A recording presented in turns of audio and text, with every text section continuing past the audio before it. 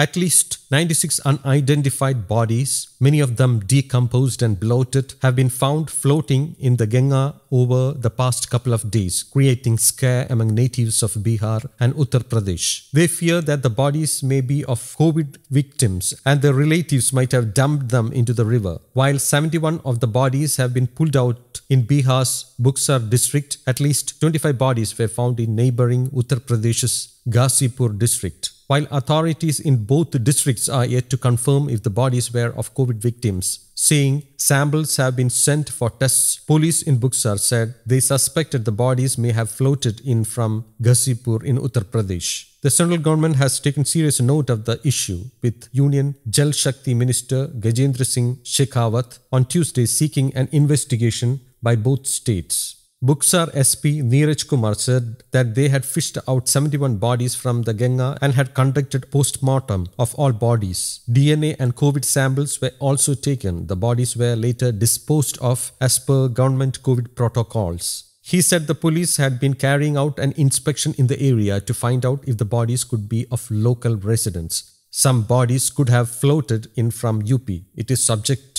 of investigation for Bihar and UP police, he said. Buxar has so far had 1,172 active COVID cases. The district recorded 26 COVID deaths till Monday. The Uttar Pradesh government has already passed an order directing people to stop Jal Samadhi, a ritual followed by some communities in which bodies are disposed by putting them in the river. This order is being followed strictly in the state, ADG Kumar said. The bodies in Buxar were first noticed by villagers near Mahadeva cremation ground along the river in Buxar's Chausa village on Monday. They then alerted the district authorities. In Ghazipur, authorities said at least 25 unidentified bodies were found floating in the Ganga over the past two days. In Uttar Pradesh, the Ganga flows through Kanpur, Hamirpur, Prayagraj, Chandauli, Varanasi, Ghazipur, and then enters Bihar's Buxar district. News Desk Kaumudy English.